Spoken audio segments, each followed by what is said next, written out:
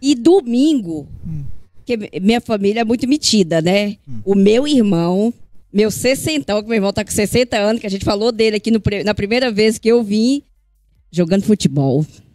E a final do, do campeonato lá, que eles estão na final lá dos. Né, dos é, os, Do é campeonato. Master, o campeão, né? É. E eles Lá em estão lá Cordeiros? em Cordeiros, vai ser a grande final. É o, o homenageado dessa vez é o, é o é, era Gil de Altino, que era um vereador incrível, que fazia um trabalho lindo, que faleceu e deixou um legado muito bonito. Então, eles estão homenageando, né? E lá tá os meninos lá à frente. Zé U, meu irmão, é um dos jogadores, Lió, Niltinho, e assim, Gil, e é uma turma grande, né? O técnico é o Regis, que é uma figura.